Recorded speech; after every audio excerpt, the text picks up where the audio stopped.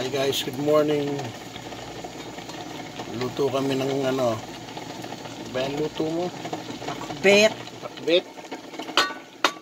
Bagong isda. Tignan mo na.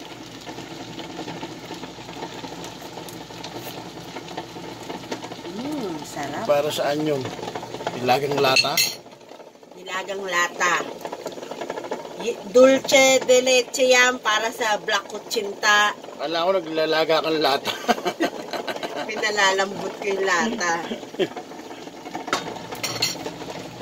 Okay, okay. And this one, bistek. Ready na siya to eat.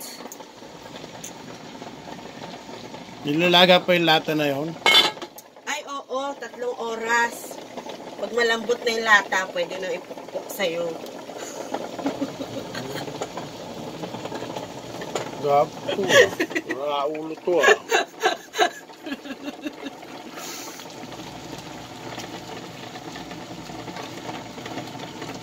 Sigising ko lang guys pag punta ko rito sa kusina o may nilalagan lata oh.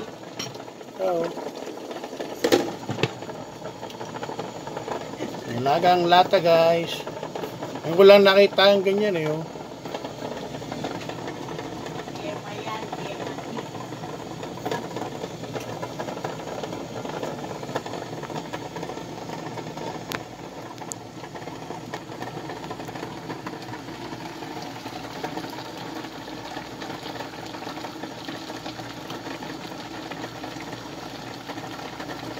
Guys, share ko lang sa inyo ulam namin for today. Pakbet.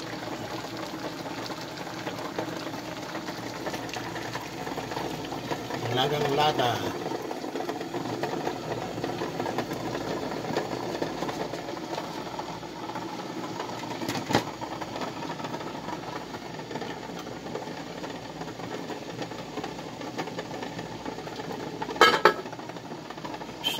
Yun.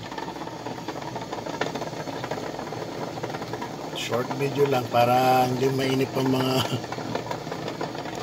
ang mga magyayakap at dikit. Okay guys. Nilagang lata.